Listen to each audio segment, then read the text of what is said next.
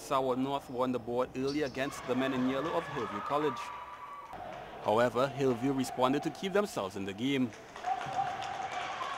The Hillview dominant started with Stefan Edwards playing good defense to convert another two points for his team. Uriel Amor led San Juan North with a game-high 13 points in a commendable but ultimately vain effort. Aaron Hill had a game-high 13 points as well for the dominant Hillview team. The men in yellow were also finding their range as they led 28 to 8 at the half. Jevin Osborne pulled up from beyond the arc to extend Hillview's big lead at the resumption as he took control down the stretch. San Juan North finally got something on offense other than that from Amor.